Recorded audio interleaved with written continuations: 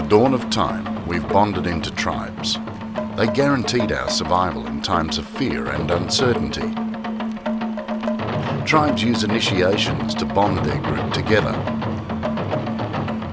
A tribe's warriors do battle to defend the borders.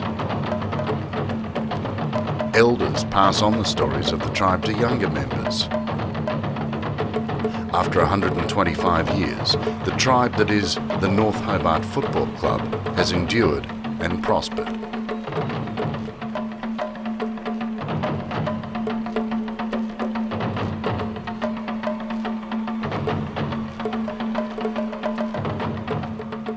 For lovers of Australian football in Hobart and Tasmania, the North Hobart Football Club is an icon of the game, an example of what can be achieved using grit and determination passion and enthusiasm, and a never say die attitude that permeates the lives of those associated with and touched by this great club. If the players who wore red and blue for the first time in 1881 were with us now, they would be astounded at what has been achieved. It's a family type thing and been uh, sort of in your in your blood all your life. I never played golf or anything like that. I just sort of got interested in the football side of it, and you just wait from one Saturday to the other to get back again. Yeah, because I love North Hobart. I've, I've been involved with North Hobart all my life nearly. I come from a fairly blue collar worker background, you know, and I've always felt that this is what North Hobart is. It's a blue collar worker club, and uh, from the day I walked into the gate, I always felt very, very comfortable about it. Once I connected with the club, and it was just like it was in the veins, and you know, it, it never leaves you. Hobart in 1881 was a tough and grubby little town.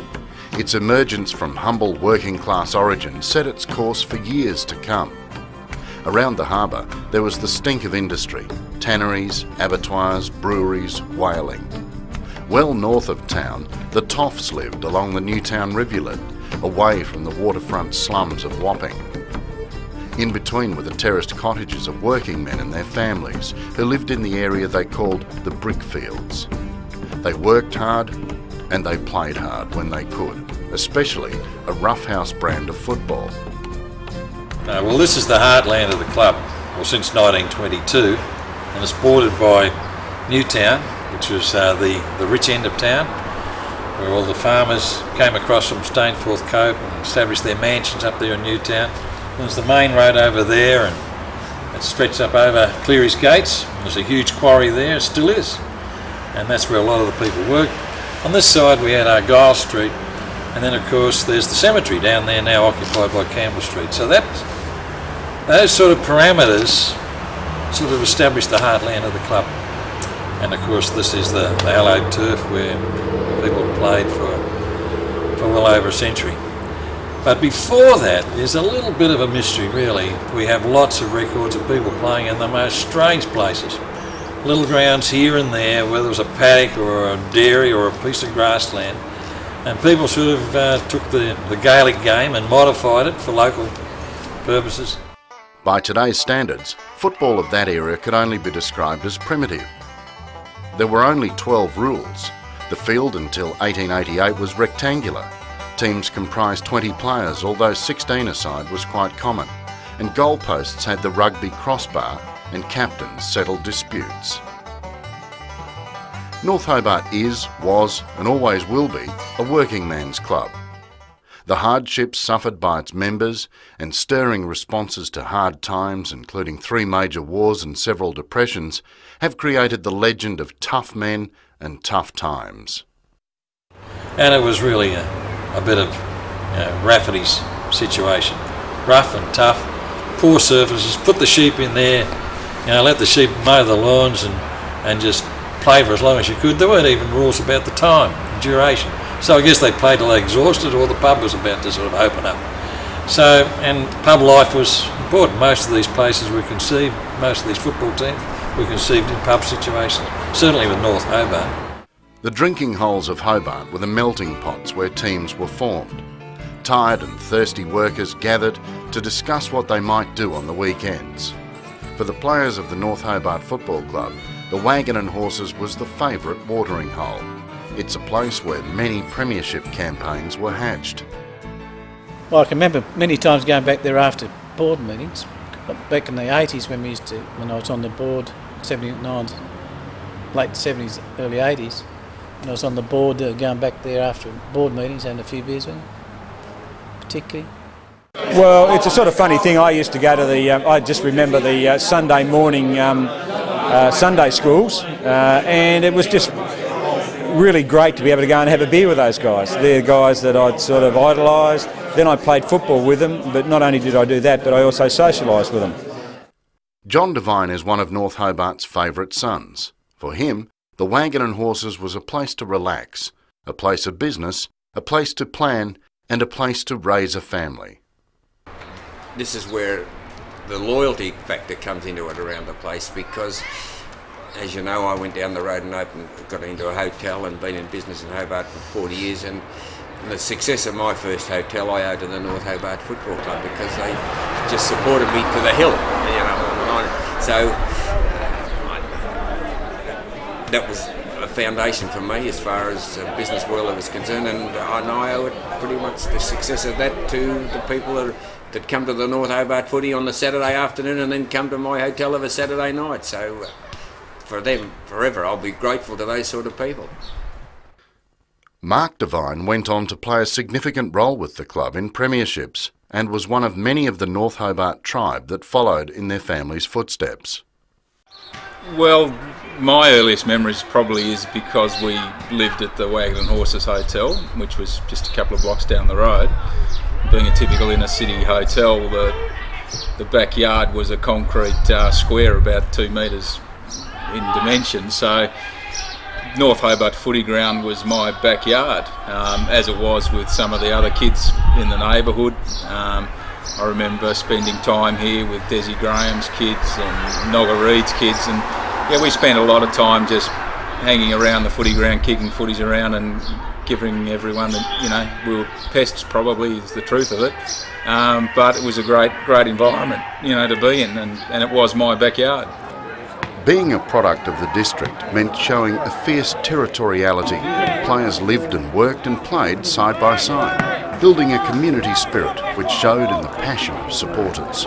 Look, footy was a big part of the community, and um, it was big, and it was a, it was a great great thing to be part of. You know, playing for North Hobart really was an honour, and we, we've got great supporters and they're still about, and so many good volunteers, and and they really looked up to the players. So, and we respected, obviously, our supporters as well. So. It was a great education for me as a young kid coming down here and learning all those valuable traits to make sure that you treat people properly and things like that. North Hobart for me, was um, a great education. Well, them days it was everyone seemed to be friends.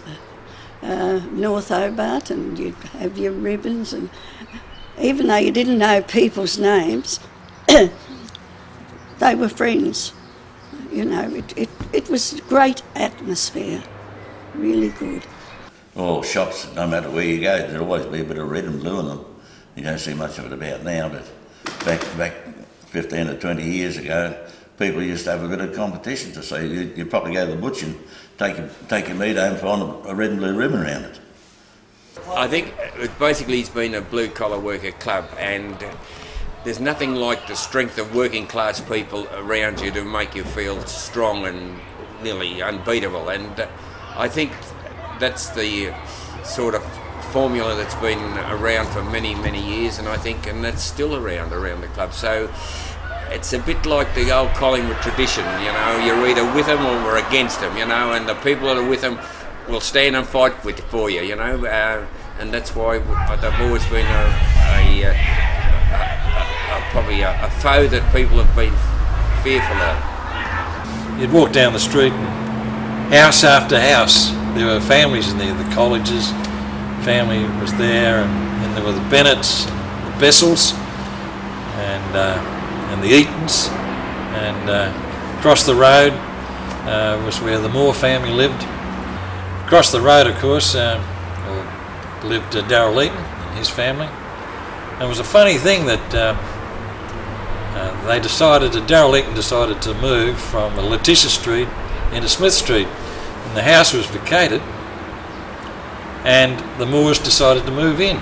Now, Cos's father was a sort of staid old bloke and he didn't want to move. So he went to the local pub and came home and fell asleep in the chair. And of course, they, they moved the furniture down the street and they moved Dad and all. And when he woke, woke up to go to bed, he couldn't find where he was in the bedroom because they they'd shifted him and all the furniture and everything. I thought it was a good opportunity to move while he wouldn't, wasn't there to resist. And so that's the sort of indicates the sort of tight communities where people lived, everyone knew each other and, and, uh, and shared their common interest. And one, of course, was the North Hobart Football Club. The legacy of these early struggles was unparalleled success as the leading Tasmanian football club. 28 senior premierships, more VFL and AFL stars than any other. This is a colourful history, imbued by the spirit of great players and names such as the two J's, Devine and Leedham, Dasher Eaton, Nogga Reid, Len and Jack Dunn, Don McLeod, Jack Metherell, Darryn Perry, the four Graham boys and 1500 other great names on the roll call of this club. The true meaning of mateship is present in all of their stories.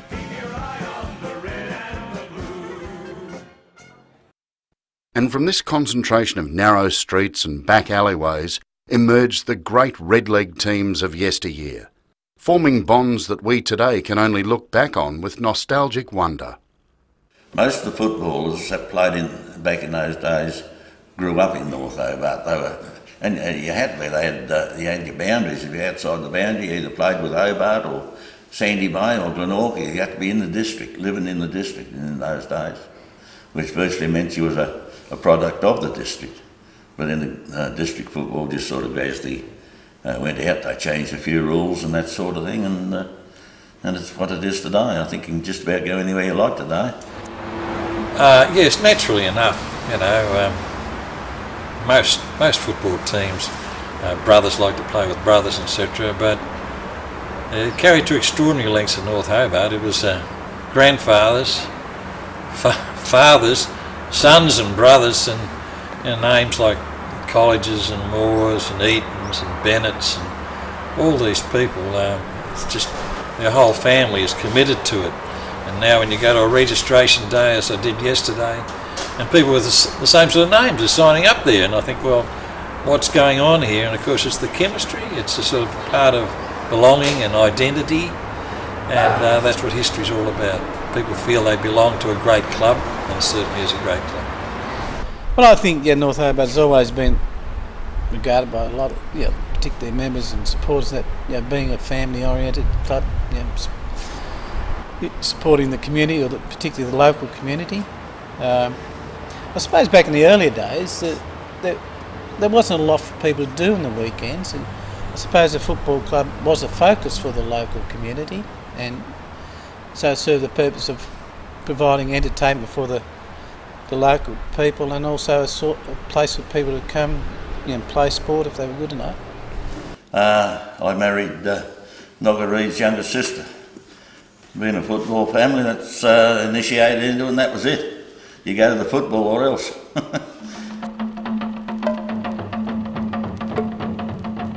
Today's club general manager is Russell Manning, the grandson of Ed Russell, who started his career in the late 1890s and was the backbone of the team until 1919. Well, my grandfather was played with North Hobart, captain case in the early 1900s, and uh, on my mother's side that was, and I suppose I followed my mother. Went to football in the early days. Well, I can hardly remember it in the early days, but uh, I, I can remember grandfather because he lived with us for a while, and I can also remember staying with my grandfather and grandmother in Thomas Street, which is up the road. Well, you know, records were pretty flimsy in those days, and uh, and uh, we've just got the, the barest sort of minimums. Uh, I've, I've a suspicion he might have played with North Hobart as early as 12 years of age. Um, that would make it really unique. But officially on record, we got him playing for, what, 15 years with North? Yes, yeah, From 1901 right through, there's records of him appearing in a photo in 1920. Yeah, and I, I suppose it's good that people talk to you about your grandfather, and apparently he was yeah, quite a good player, and played for Tasmania as well, and uh, coached North Hobart, captained them to premierships. The 20th century had begun with hope as the colonies joined together in federation. Success on the field for the young club came in 1902 with North Hobart's first premiership, the first of many to come in the years ahead. Some of the people to help administer the club in this early period were men such as William Leach, George Miller, Sir Henry Jones, and Charlie Dunn.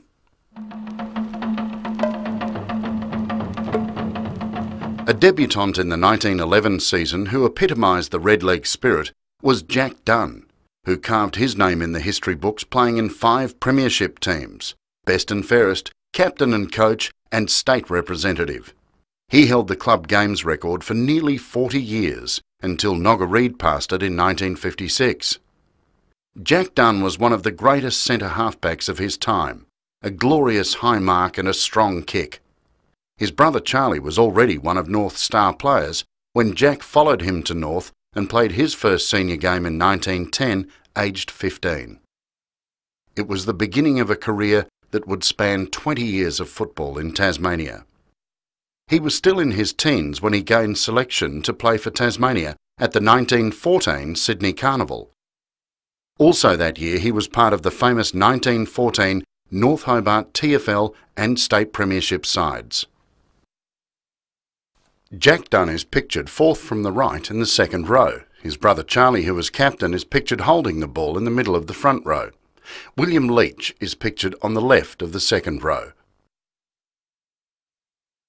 After the First World War, Jack rejoined North in 1919 and was appointed captain in 1920, a position he held from 1920 to 23 and then again from 25 to 26 and 28 to 29. In 1923, North Hobart again won the TFL Premiership, playing Newtown in the grand final before a crowd of 6,000 at North Hobart Oval. In this photo are North Hobart players and supporters in 1923. Jack Dunn is pictured fourth from left in the front row. In 1920 he was appointed captain of the TFL team, and while he was in that position no TFL team under him suffered defeat. In 1927 he transferred to Devonport. Returning south the following season, Jack Dunn rejoined North Hobart, coaching them until the end of the 1929 season. He took them to the TFL Premiership in 1928, the first since 1923. Jack Dunn is pictured at the head of the line here. Alan Raitt is also in the team, fifth from the head of the line. And Jack played in many representative teams that visited the mainland. He was a member of the famous Tasmanian team that defeated South Australia in 1923 in Adelaide at Adelaide Oval. Jack Dunn was named one of two vice captains in North Hobart's Team of the Century after playing 187 games for the club.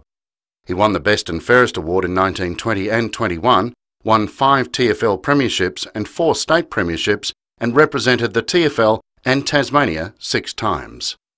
Football in the south of Tasmania was particularly strong in the 1920s. Other clubs had star players like Horry Gorringe and Jack Gardner, Dan Minogue, Alan Leach and Snowy Atkinson. But North's players were men like Les Stevens, Albie Bonicher, Frank and Jack Dunn and Hector Brooks. The success enjoyed by the club ensured that the tribe has stayed strong for many years. The 20s and 30s were halcyon years for the North Hobart Football Club, with nine TANFL premierships between 1920 and 1939, and five state premierships. After a distinguished military career in World War I, including a military medal and All-Australian selection, Hector Brooks joined up with North Hobart at the start of the 1920 season. In eight years with North, he played well over 100 games and was presented with North Hobart's Most Consistent Player Award seven years in succession. The key to North Hobart's success throughout the 20s was the ruck rover combination of Hector Brooks and Jack Dunn. Hector Brooks featured in a funny episode on Grand Final Day in 1923 when North Hobart took on Newtown he was employed as a PMG linesman and was directed to repair a telephone line at Longley at 11am. He cycled to Longley, effected the repair and arrived back at North Hobart in time to play midway through the third quarter and kicked two goals. Some claim his boss was a Newtown supporter. North emerged victorious and later took on North Launceston for the state premiership, defeating the Northerners by 17 points in front of a crowd of 8,000. Alan Raitt is recognised as one of the greatest full forwards ever produced in Tasmania, scoring 847 goals during his career which spanned 11 years. Raitt gave outstanding service to North Hobart and the many combined state and TFL sides in which he was picked. But for a knee injury at the start of the 1934 season, he may well have kicked over a thousand goals in his career. He won the league leading goal kicker award five years running from 1928 to 1932 and then went on to win it a further three consecutive times in 1935, 1936 and 1937. He crossed to Victoria in 1933 after being lured to Footscray and played two seasons there. He offered his services to his old club North Hobart for the 1935 season, in the process turning down offers from both Footscray and Essendon to return to Melbourne. Alan Raitt was always a big attraction in league football, and the memories of his many thrilling tussles with the best fullbacks of the day rank as some of the most outstanding incidents associated with the game in Hobart during the Between Wars period. Well, he was a big name. He'd just come back from Footscray, was it? Footscray. Yeah, Footscray, yes. And um, he was appointed coach of North Hobart I think they'd won the premiership the year before, hadn't they? Yes. Yeah, and he was appointed coach. They didn't have a very successful year, uh, but he was a uh, he was a lackadaisical, laid-back sort of bloke, you know. Yeah. I don't think the training meant a lot to him, but he, he was quite quite brilliant, you know. He was in, what, a, in what ways? Well, he's a, a great a, a great ball getter. Yes. Uh, you know, he he was where the ball was, and uh, I don't think he was a he wasn't a spectacular high mark or a prodigious kick or anything, but he was well very much like Peter Hudson, you know, a, mm. a ball getter and user. Right. Mm. Jack Metherell's appointment as coach of North Hobart was one of the most inspired decisions made by the club. Metherell was the catalyst for the most successful period in the club's history. He came from a family steeped in football tradition. His father and five uncles were all top footballers. He played for Geelong starting in 1932 and was leading goal kicker three times. Metherell remained with Geelong until 1937, his last game a grand final where he kicked four goals in the premiership team. Jack Metherell was a chunky half-forward flanker, forward pocket rover. He was a dangerous goal sneak, scouted packs cleverly for crumbs, fed to position smartly and kicked accurately. Metherell's appointment as North Hobart coach in 1938 did not meet with Geelong's approval. Despite repeated overtures, including the legal efforts instigated by the then Premier of Tasmania and North Hobart supporter Albert Ogilvie QC, he had to stand out for the entire 1938 season. North were able to withstand this setback and take out the premiership. This was the beginning of an unbroken run of five TFL premierships, four with Metherell as captain coach and four state titles under his coaching.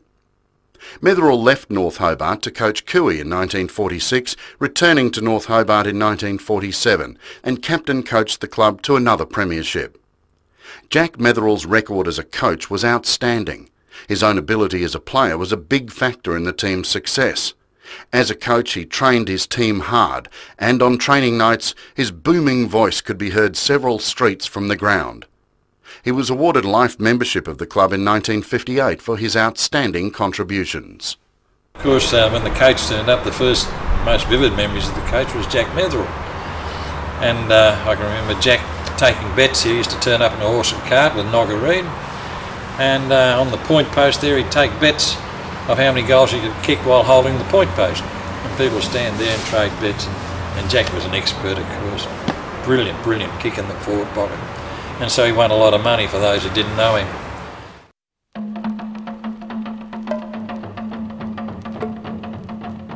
Peace and the troops came home. Through the years that followed, the children of the baby boom generation were born. Life in Australia was good. The lucky country rode on the sheep's back after the lean wartime years. A revolution in music began with the new sound of rock and roll. In Tasmania, district football began. North Hobart Football Club won the first district premiership in 1945 and was successful again in 1947. Darrel Dasher Eaton was one of Tasmania's greatest ever wingmen. He was regarded as a great football tactician and became a highly successful coach. When I went coaching North Hobart, I'd already played with a lot of the players like uh, Des Graham, Trevor Best, and Noel Clark, and uh, Johnny Noble, and Ian Plunkett. I'd already played with them the previous year or two, and then to come up and get, be appointed coach, and I had to, uh, uh, you know, hold a pretty strong hand to keep them together, and uh, it, it, it worked. They, they used to abuse me under, under the breath, of course. Uh, no, we didn't do that, Dasher. no, I didn't think you would be. and I didn't include you in, but uh, that was it. I, I, I didn't have any problems of coming as a, a play uh, mate to, to the coach and coaching them. Uh, it was it was quite enjoyable because you know we, we had some good sides and winning premierships. You're you're pretty popular then. Darrel Eaton was inducted into the North Hobart Football Club Hall of Fame in 2004. Darrel Eaton died in January 2007 and was farewelled by a large crowd of family and friends, clubmates and associates. Today the Darrel Eaton Junior Foundation continues his legacy. Legendary centreman, rover, back pocket. All words used to describe Noel Nogger Reid. Fast off the mark and elusive, Nogger Reid was a multiple Tasmanian and TFL representative and premiership player for North in the late 40s. He was the first post-war footballer to reach 200 games, eventually playing 213 games for the Redlegs. Nogger Reid is one of only six North Hobart William Leach medalists for League Best and Fairest.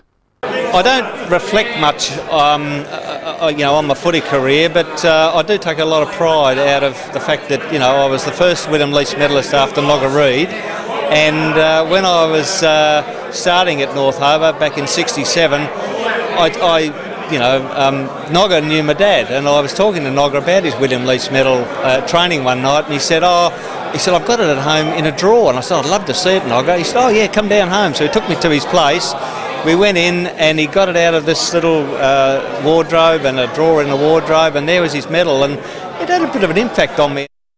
Noel Reid was inducted into the North Hobart Football Club Hall of Fame in 2004 and is a member of the Demons Team of the Century as well as a North Hobart Life member. The mighty John Leedham, or Great JL as he's referred to, played his first game for the Redlegs in 1954. He was to become a legend of the club, an inspiring captain coach and a match-winning player. Leedham possessed uncanny skills. He has been rated the best Tasmanian never to play VFL AFL. Leedham is regarded also as a great leader and administrator. John Leedham was inducted into the North Hobart Football Club Hall of Fame in 2004. Well, I saw John Leedham play as a, uh, as a young man actually. I was a contemporary of his. I actually played a couple of games with him, only because everyone else was injured or sick. But it, he used to mesmerise me, and he did his opponents as well. He could play in any position and be successful. Incredible marking ability, beautiful kick, and uh, his composure under pressure was just enormous. And he played the psychological games with the opposition you know, talking to them all the time, and he had small steps, could move in a very tight circle, uh, and he was able to control his adrenaline rush. And he was by far the most outstanding natural talent I've ever seen in a footballer. He was quite outstanding, and he had shocking feet. When we were in the rooms and he took his boots off, I wondered how in the hell he got out on the ground. He's the most grotesque feet. You ought to ask him to show you sometime. I suppose the greatest footballer was John Leedham, I reckon. Well, I liked his game because he he he would say to the if he was on a play, he'd say to him, uh, "Well, yeah, well, shake hands," and that was it. He would and the players on him, he'd probably have three or four players or six players on him during the game. He was that bloody good. Yeah, I probably didn't see a lot of John because I was only a kid, and as I mentioned earlier, in the country, so I um, only saw him a little bit, but he made an impression when I saw him. He didn't look much like a football. He didn't seem to be quick, but he was lope along the ground. And he just had must have had magnificent ball skills and judgment so. Uh, he did have a bit of a reputation of being a bit, bit uh, rough at times. No, I don't know. I, I, was, I looked after the young players. If anybody touched our young players, I'd, I'd see that they got reprimanded about it. But apart from that, I was okay. I, I've never, I don't think, you know, I got reported a couple of times, but don't let's go into that. Probably one of the greatest characters that ever played for North Hobart would be JL. Terrific, terrific guy, bloody good footballer. Uh, but all, the, the thing I admired about him most was if you said anything to him from the sidelines or whatever, um, he'd just look at you with a bit of a grin, a bit of a silly grin. Didn't matter what you'd said or what comment was made, he just gave that cheeky grin and, and, that, and that was it. Went on with his game. All the time, captain and. Uh, when I came here north, at only under McCanker, the year I came here, they'd won one or two games the year before. So we've got an influx of young players like Quinn and Cosmore and all those players, and uh, they kicked on, and we were uh, we won a premiership. We ran we were runners up, and we were out the, in the four all the time, all the time I was here. So I think sticking to the young players, they were good young players, gave me uh, a lot of satisfaction. You know, pretty well recognised. I think that. Uh, John Leedham was one of the best footballers that had never ever played VFL football? I went to Melbourne when I was 18 and I had a written guarantee of 12 games in the centre with Melbourne. But I injured a leg and they wouldn't do the operation till the end of the year and I got a bit homesick I was, and I came home. I suppose uh, I feel I, I'm happy now that I did come home because I've had a lot of success here and uh, I've been happy. The world changed through the 1960s. These were years of great social change, the rise of youth culture, Australia at war in Vietnam, and a revolution in popular music. At North Hobart, the 60s were years of successful achievement on the field. As the Robins, the boys won premierships in 1961, 62, 67 and 69. Barrackers in the Ryde Street stand bellowed out the club song to celebrate. One of Tasmania's greatest ever wingmen, Des Graham played 229 games for the club cementing his place in the tribe's folklore. He played from the late 50s through to the start of the 70s, vice-captaining the team for four consecutive years. Des Graham was a highly skilled and tenacious player and five-time best and fairest winner. He was considered courageous, gallant and an inspirational team man. I think it was about the second quarter. Uh, John Devine had him then, that's right. Uh, I think Darrel Baldock clipped uh, clipped uh, John Devine and put him down. Desi Graham came in as the best uppercut I ever saw. Just laid big iron man Smithy, laid him right out, and umpire come flying over, and Desi turned around. He said, "Better give him air, mate. I think he's fainted." Unfortunately, someone's head was a bit, bit stronger than my, my, my arm, but, but that's how things work out. They didn't need me anyway. John mentioned about Desi Graham being a tough fella and all that sort of bloke, and uh, I remember most nights you get a new re recruit into the club, and the first thing Devine would do was say, uh, test him out, Desi, and if he didn't come up to square one, he's gone, out through the gate. He was part of the 1957, 62, 67 and 69 premiership sides. He represented Tasmania and the TFL 12 times. Des Graham is a North Hobart Football Club Life member, a member of the Team of the Century and a member of the North Hobart Football Club Hall of Fame. John Devine was a tough, no-nonsense player. He took the club through one of its most successful eras. He's acknowledged as an inspirational leader and a highly successful coach. The team didn't win a game during the 1967 season until Devine started playing in the seventh round. They didn't lose one again that season.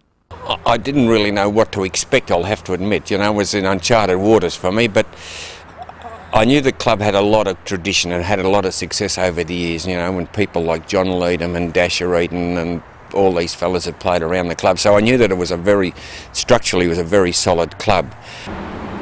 John Devine came to the, the club um, as a reputation as a tough, no nonsense Geelong backman, and he was suspended over there for eight weeks, which was a long period then. So it, it must have been a pretty tough sort of background he came from. And our team was down on its uppers, really. We, we had a very lean season. He came to us in 67. And for eight weeks he had to serve out that, that sentence and uh, not even go on the ground. And, uh, but he changed the culture of the club dramatically. I've never seen one football have such a dramatic impact on a group of footballers. He was able to instill in a bunch of young players, they were all young, inexperienced blokes, willing to have a go, a lot of natural talent. But they they called him Father, and that, and he's still known as Father Divine, and he sort of they treated him like that. They would do anything for him, and so I remember that the fateful game up on uh, the, the TCA when John Devine first coached the side, and he was sitting on the, the side uh, of the ground, and then of course he was right on the white line and yelling at the players at the top of his voice. He became so involved as if he was playing. He was ducking and weaving and shouting and yelling, and you could hear his voice all over the TCA. Well, those players just transformed themselves, and when he actually became a player and a captain, he just inspired them all. He kicked the goals and, and just lifted the whole team and with incredible acts of courage and uh, the culture of the time. He even went on to change. He thought the Red Red Robins were a little bit insipid. so, so he talked the, the committee into changing the Robins to the Demons, which befitted his character. Um, he, he was a father figure to us. I mean, he was an established player. Uh, you know, he was a recognised player but he gave us a lot of confidence because we felt that um, if anything happened to us out in the ground, John was always there, you know, to protect us. So, in a lot of ways, I was only saying before, I felt he had a, an impact on us not only in a football sense but in a personal sense. Our character, he moulded a lot of our character, which has gone on through life. Yes, uh, very popular, and uh, at time of back, you, you never see him get on the bench, be rubbed down in front of the players or anything like that, because if he got on the bench, they'd get on the bench he just sometimes you take your side and bring your inside and get a little bit around, put on and do something like that. But I, and he, he did win one premiership, I think, as a non-playing case. But I think his main inspiration inspiration was when he was on the ground and leading by example, because he was certainly a very fine footballer. And it was always said that he could have played VFL football as it was in those days for several more years. He was involved in premierships in 1967, 69 and 74 and doubled up with state premierships in 1969 and 1974. He captained and coached Tasmanian state sides and represented the state and the TFL six times. John Devine was inducted into the North Hobart Football Club Hall of Fame in 2004 and is the captain of the North Hobart Team of the Century. 1967 was a memorable year. After winning the TFL Premiership, North Hobart's team travelled to the northwest for the fiery clash against NWFU champions Wynyard. Newsreel footage captured the drama. Well, it's a famous goalpost day. Um, we got on the train here. Uh, that's how long ago it was. We had the train service, got on the train, the train broke down at Western Junction. We ended up at the hotel at Burnie, at, getting there at 6 o'clock at night. I think we left about 9.30. It take, took us all day to get to Burnie. I, I must have been very gullible as a coach because I thought I tucked them all into bed about 10 o'clock ready to play, but apparently years later I heard that half of them were out on the town. uh, and uh, and they played a bit like it too on the Saturday. On, but uh, anyway, we got to the game and uh, and that was a fairly tough game against Wynyard. They'd had a very successful season under John Coghlan and they gave no quarter and asked for no quarter. They were uh, terrific. Uh, our blokes some of our fellows didn't play that well, and then I found out why the reason. But anyway, we fell, got to the stage where, uh, you know, we we desperate. Dickie Collins took that famous mark, and uh, a fellow called John Pilgrim was the umpire at the time, and uh, they knocked the ball out of Dickie's hand. It was a 15 metre penalties in those days, and they brought him back on the line. But of course, the rest is history, really, because by the time he got back to have a kick at the people had jumped over the fence, and and of course the goalposts were only sitting in the ground in sockets. They were easy lifted up, and I said to Dickie at the time, we've just better wait till umpires clear all this before we have a shot for goal, make sure everything's okay. And while I was talking to Dickie, I seen the goalpost run up the middle of the ground. Three or four kids had the goalpost, were boring down the other end of the ground with the goalpost. So yeah, it became was I suppose at the time you didn't think it was all that funny, but it's been a uh, great talking point, you know, and as now it's become Tasmanian folklore as far as football is concerned here. I don't remember a lot about that day. It wasn't a very pleasant day to play. I remember it was there was a wind blowing across the ground. It was dull overcast. Uh, it was a real struggle all day. And, but, but of course, to see uh, to see all of the people rush onto the field as the siren went after Dickie had taken the mark, and then the, the mounted police coming onto the ground and the pandemonium that broke loose, and the uh, I remember someone seeing this guy shaking the goalposts, and then he worked out that they were in slots in the ground, and they just pulled it up and down they came. And how someone wasn't hurt with that, I don't know. And um, then we had great celebrations that night, sort of got over our, our woes, and uh, and then they got the goalpost on the train. And I was about to ask, yeah, did they do that? They got. Oh yes, the goalpost was on the. I don't know who did it. Uh, I'm not guilty, but uh, some of them got it on. Somehow they got it uh, onto the train because it was one of those trains that uh, you came in a side door at the front, and then you had a long corridor, and then the police came on, and they couldn't work out how you would ever get the goalposts through, down and at a right angle through this door, and of course it had come in through the window at an angle. Yeah. so that was quite. Where the goalposts are there, I don't know. The 70s continued North's dominance on the ground and as a major part of the Hobart community. Dave Noonan and Don McLeod reflect on their time with the club. It's hard to believe, like I was 17, 18, played my first year of footy, and we were a very young side. And to come in and to have success, which we didn't expect to have, against a very hard and sandy bay side it was fantastic. And yeah, the football was so different then. I mean, it was very passionate. The fans were passionate. The crowds were enormous, and just the feeling that you could represent that club was just absolutely incredible. The club's always been a very strong club, um, very loyal to their players and to the, to their supporters. Um, it's had good social uh, activities and it's had a lot of very hard workers who do a lot of work for very little in the way of reward. Don McLeod was a fine player, capable of holding down every position. He was a prodigious kick. Don McLeod is the club's current games record holder, having played 265 games from his debut in 1972 as a 16-year-old to his last game in 1986. Oh yes, I was pleased. I played 270 games, so I was happy with that.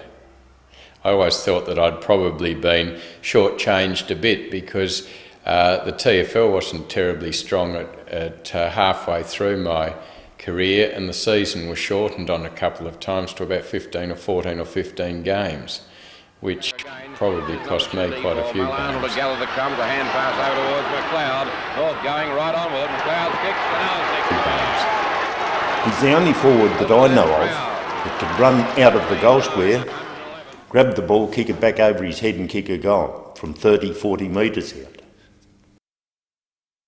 Over his head. He could run from the goal square straight towards the centre, centre circle, grab the ball, kick it back over his head and kick a goal. And not once, he could probably do it two or three times in a game. He was an instrumental part of the 1974 TFL and state premierships under John Devine. He's a five-time club best and fairest winner and captained the side six times. Don McLeod was inducted into the North Hobart Football Club Hall of Fame in 2004 and is a valuable part of the team of the century.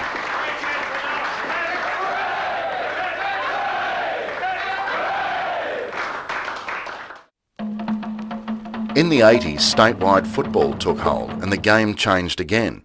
Darryn Perry remembers arriving from the north of the state wet behind the ears. The players certainly made me feel very welcome. Um, there was a group like Terry Moore and John McMurray, younger guys that had been around for a couple of years, um, that certainly made me feel welcome. And you could tell that the club was on the crest of doing something big. And I'll never forget our first game that year against Glenorchy. We actually won, and that was a that was a huge um, thing. Uh, it was a huge thrill for me because I didn't know anything about Glenorchy, anything about the competition, and. Uh, to play in that game and meet a lot of the supporters after the game, it was just a huge buzz for me. So I knew that I came to a strong, strong, powerful club that was on the verge of doing something really good. Darryn Perry was a courageous, polished and talented rover and leader. The possessor of a magnificent left foot kick, he played in four premiership sides in the late 80s and early 90s. Darryn Perry attained numerous honours during his career, among them the Darrel Baldock Medal in 1992 and the League Best and Fairest Award, the William Leach Medal in 1993. Darryn Perry was inducted into the North Hobart Football Club Hall of Fame in 2004. He's a player life member of the club, having played 188 games for the Demons, and is a member of the team of the century. Oh, look, I, you know, it's fantastic, and it was a, it was a huge part of my life, and uh, you know, I was, I was very lucky to succeed, but I also worked probably harder than the normal player. Like when I came down here and I was struggling a bit, I thought, well, I could go either way, and that's to just struggle through my career or have a real crack at it. And and I did that. I trained probably harder than any other player at the club, and because of that, I think that I got the rewards later on in my career. And um, you know, I was just fortunate enough that I was given the opportunity to play at North Hobart and um, enjoy a lot of spores that came my way. To match the status of the new league, the club appointed another Geelong backman. Gary Davidson. It was no coincidence the Geelong and John Devine connection was well established, and earlier, of course, from Geelong was Jack Metherell, another legendary North Hobart figure. Davidson was just as tough and ruthless as the great JD, but in a different way. He was not a playing coach. He relied on being a very smart tactician and player recruiter and manager for success. He had done his homework before coming to North and checked out the exciting young talent just emerging in the North Hobart ranks. They were traditional North names, and their club loyalty and commitment could be relied upon. Family names re-emerged, such as Moore, Collidge, Noble, Klein, McQueen, Morby, and John Devine's son Mark, and they could all play. It was in the genes. North, from the beginning, has always prided itself on being a family club. Davidson used all his powers of persuasion to influence the club's board to invest in four or five new players to complete a potentially winning team. North became the glamour team of the new league and took out the first statewide premiership in 1987, narrowly missing the next year, and then won the 1989 state premiership with style. Arguably, it was the best side North Hobart had ever fielded. It was fantastic. I think Glenorchy, I lost the toss and uh, Glenorchy got the jump on us early. I think David Pearce kicked a couple of goals. Kicks. It is swinging back around the pack fly. Grace. He slips. He's up. He's grabbed. He's lost it. Gives it over to Pearce. And Pearce goal. Um, uh, at quarter time, we were certainly behind, might have been behind three or four goals, and uh, we just really needed to regroup, which we did. And I recall um, Steve McQueen, I think, and Bradley Plain just did a couple of special things for us in the second quarter just to get the momentum going our way. His hands spilt. McQueen has it though. McQueen snaps. He's put it through towards David Noble. Noble fires away down towards goal. Webster trying to drop back on it. It's still in play. It'll be a goal you would not believe. Unbelievable. Bradley Plain. Well, I'm lost for words. And uh, once we sort of turned the corner, really, um, we sort of kicked away, and it was a pretty comfortable win in the end. Full forward Peter Hardman played his best game for the club in the grand final, kicking seven goals. In addition, Steve McQueen, who kicked five goals in the grand final, was drafted by Geelong, but chose to stay at North Hobart. What followed after the game was euphoria for the Premiership-starved North Hobart supporters and torment for the Glenorchy fans. A jubilant Davidson said that this premiership was even more satisfying than the 1983 flag he won with Glenorchy. Davidson was an innovator. He introduced a weights program for players. Oh, the brick circuit. Well, Dave, we didn't have enough money to get weights, so every player had to bring a brick. And um, after training for about 20 minutes, we'd um, work out with bricks. You don't think Darryn Perry's arms got as big as they did without bricks, do you? We'd just have housing bricks, Pezza would have Besser blocks.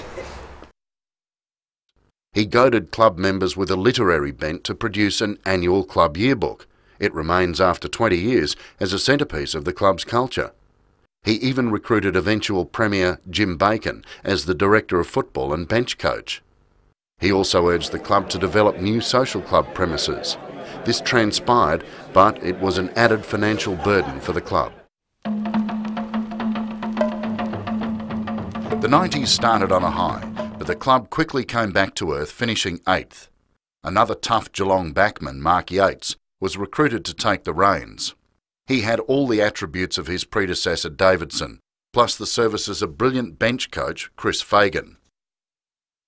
The combination was highly effective. North went on to history making back to back premierships in 1991 and 92. Then cracks started to appear in the statewide league. All clubs had overcommitted themselves financially, thinking the crowds would flock to the new competition. But after an initial burst of enthusiasm, the travelling and imbalance in the competition took their toll. Attendances and club revenues tumbled alarmingly. Clubs abandoned the competition. Everyone was relieved when the statewide league folded in 2000 and clubs returned to their regional competitions. During the 90s, several players emerged to steer the club through the dark days of the end of the statewide league. Matthew Brereton was one of the shining lights.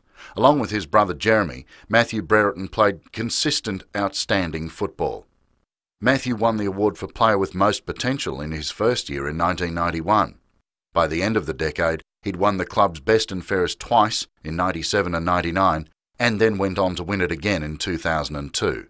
Matthew Brereton played 198 games for the club and is a Team of the Century member. Robbie Devine, nicknamed The Wiz, has emerged as a cult figure at North. He's a medium height, robust and aggressive forward in the Leigh Matthews tradition. Since he started senior football in 1994, he's delighted North supporters and driven the opposition crazy. He has played over 250 games, and his goal kicking exploits are now legendary.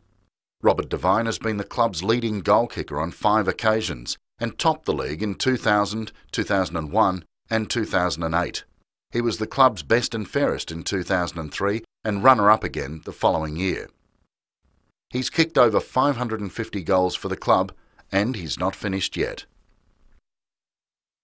The youngest coach to be appointed since Eddie Russell a century before Brendan Bolton was just 24 when he took over for the 2003 season.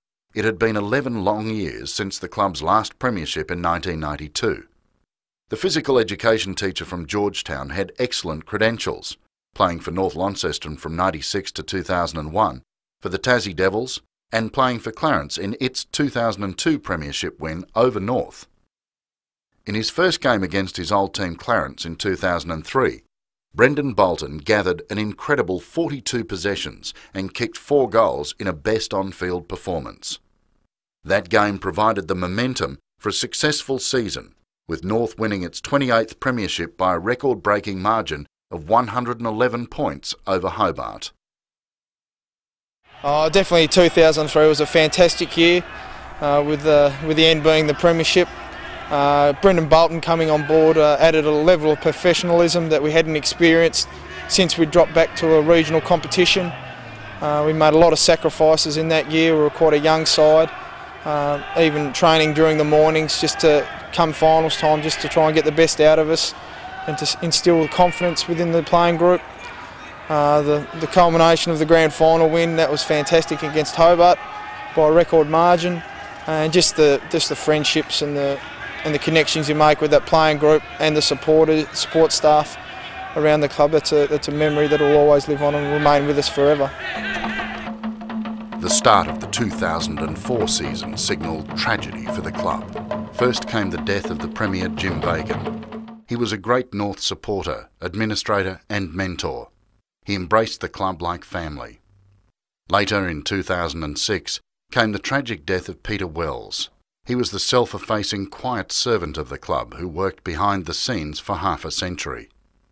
The final blow came in 2007 with the death of Darrel Dasher Eaton, Campbell Street schoolboy, Tasmanian player, captain and coach and team of the century wingman.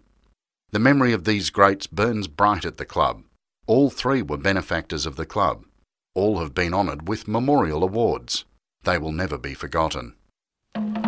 Perhaps in the long run, the most important recent development has been the club's deliberate strategy to restore lost membership and create a stronger image of the club as a community organisation to attract a wider supporter base. To this end, a flurry of celebratory social activities were initiated since 2000. The club's coterie group, the Tridents, was important contributors. With great ceremony, the club's Hall of Fame was established. It's now an annual event. A highly successful team of the century was chosen and celebrated. Then, in 2006, at the largest dinner in the club's history, we celebrated the club's 125th anniversary. Who will forget at age 93 Arch Flanagan, the club's oldest player, a 1936 Premiership team member, addressing that huge gathering?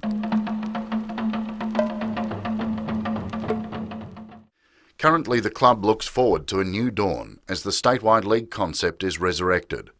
North will once again stride the Tasmanian football stage as a colossus of the game, an enduring but adaptable tribe of leaders, warriors, and families, all bonding together as one under the flag of the mighty demons.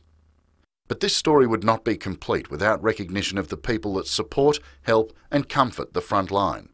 Administrators like Charlie Dunn, George Miller, Ian Parker, Chris Boys, David Omant, Warren Brewer, Paul Curtain, and John Leedham. Committee members like Bernie Dillon, John Gibb, and Bruce Felmingham. Support staff like Don Reed, David Patmore, Teddy Lidster, Max Streets, Eric and Greg Wigan, Tony Hill, Mitch Brown, Rex Grandquist, Max Elliott, and Keith Bradshaw, and the hundreds, if not thousands, of volunteers that turn up every week to help run the kiosks, man the gates, raise funds, and do the tasks that help keep the club functioning. The list is long and will continue to grow as the club continues to thrive. And last but not least, the supporters who've turned up every week in their thousands over the long years. The true meaning of mateship is present in all of their stories. Today, we cherish and revere the memories of the players, coaches, administrators, volunteers, and supporters who've shaped this great football club. And while we look back to the heroes of the past 127 years, we also look ahead to the future, nurturing the young players who will one day proudly pull on the red and blue and do battle for the North Hobart tribe in years to come.